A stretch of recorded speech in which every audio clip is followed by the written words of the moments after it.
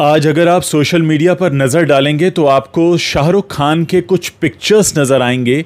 ये pictures click हुए हैं। कल मुंबई में हुए एक इवेंट के दौरान जिसमें वो अपने फैंस से मिल रहे हैं और सबका शुक्रिया अदा कर रहे हैं।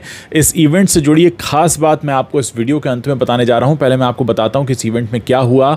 दुनिया भर से या यूँ कहें कि जहाँ जहाँ भी शाहरुख के फैंस हैं, उन्हें एक जगह इकट्ठा किया गया। डंकी की सक्सेस सेलिब्रेट की गई। जवान या पठान की नहीं, डंकी की क्योंकि डंकी का कलेक्शन सबसे कम रहा था और कहा जाता है कि राजकुमार हिरानी की सबसे कमज़ोर फ़िल्म अगर कोई आज की तारीख में है तो वो डंकी है इसलिए शाहरुख खान को वो लेकर आए। ये भी कहा गया कि पिछले साल शाहरुख खान की जो तीन फ़िल्में रिलीज़ हुई उन्होंने करीब 2,600 करोड़ का बिज़नेस किया। और आप इस बात पर गौर फरमाइए कि ये इवेंट जो हुआ है वो फ़िल्म फेयर अवार्ड के ठीक अगले दिन हुआ है। वही फ़िल्म फेयर अवार्ड जिस अवार्ड पर एक वक्त में शाहरुख खान का कब्ज़ा हुआ करता था, इस बार शाहरुख खान नदारद रहे फ़िल्म फेयर अवार्ड से नॉमिनेट ज़रूर हुए, लेकिन अवार्ड नहीं मिला। लेकिन फिर अपने फैंस के बीच आकर उन्होंने इतना ज़रूर कहा कि अब मैं सिर्फ़ दो तीन महीने के लिए ही गायब हुआ करूँगा। मैंने चार साल गायब होकर बहुत गलती की, आपको बहुत मिस किया, मुझे लगा मैं कहीं गलत सिनेमा तो नहीं बना रहा हूँ, और इसीलिए मुझे खुद पर काम करना था और उसके बाद एक ही साल में वो तीन फ़िल्में लेकर आए।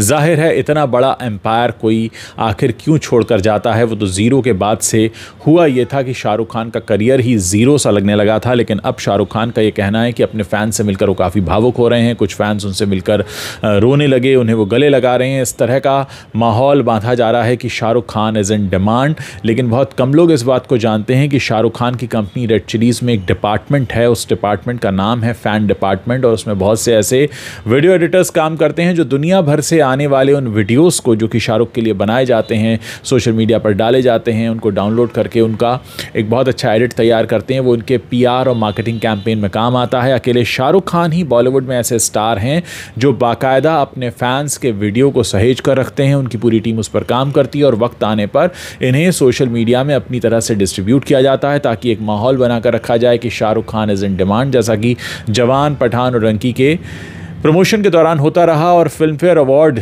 वही फ़िल्म फेयर अवार्ड जहाँ Shahrukh Khan back to back award लेने आया करते थे और वही फ़िल्म फेयर अवार्ड जहाँ शाहरुख ने एक बार कहा था कि मैंने अपने घर में कमरा बनवाया है जहाँ मैं सारे अवार्ड्स रखने वाला हूँ। यानी खुद पर इतना यकीन था शाहरुख खान को। वही शाहरुख खान चार साल बॉलीवुड से गायब हो जाते हैं और उसके बाद जब वापसी होती है फ़िल्म फेयर अवार्ड में दो बार नॉमिनेट तो होते हैं, लेकिन अवार्ड एक भी नहीं मिलता और अगले दिन वो अपने फैंस के साथ अपनी सक्सेस सेलिब्रेट करते दिखाई देते हैं। शायद कहीं ना कहीं ये कहने की कोशिश है कि भले ही फ़िल्म फेयर अवार्ड ने मुझे भुला दिया हो, लेकिन मेरे फैंस अभी ज़िंदा हैं जो मुझे प्यार करते हैं और उनके बीच प्यार बटोर कर ये कहना कि मुझे आपका प्यार चाहिए। वही शाहरुख खान, जिनके बारे में कहा जाता है कि वो अवार्ड के लिए बड़े दीवाने होते थे, अवार्ड के लिए वो पीआर के ज़रिए, मार्केटिंग कैंपेन के ज़रिए मैनेज करते थे। आज वही शाहरुख खान जब फ़िल्म फेयर अवार्ड से दूर हैं तो अपने फैंस के बीच जाकर वो ये बताना चाहते हैं कि उनके फैंस उन्हें कितना प्यार करते हैं।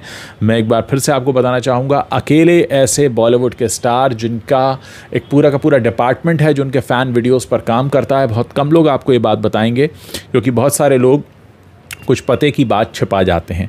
तो कुल मिलाकर ये जो फ़ैन इवेंट हुआ, इसमें शाहरुख खान ने एक बार फिर से साबित करने की कोशिश की कि उनकी अभी भी डिमांड है, वो अभी भी लोगों की नज़रों में बने हुए हैं और अभी तक भले ही उन्होंने अपनी अगली फ़िल्म अनाउंस ना की हो, लेकिन कहा जा रहा है कि सुजॉय घोष की जो फ़िल्म है द किंग, जिसमें सुहाना बड़े पर्दे पर डेब्यू करने वाली हैं तो उस फ़िल्म में शाहरुख खान नज़र आ सकते हैं। फ़िलहाल इंतज़ार है कि शाहरुख खान अगली फ़िल्म में कौन सी ऐसी फ़िल्म होगी जिसमें वो नज़र आएँगे। कहा यह भी जा रहा है कि विशाल भारद्वाज के साथ देख सकते हैं, लेकिन अभी तक ऑफिशियल अनाउंसमेंट कुछ भी नहीं हुआ है।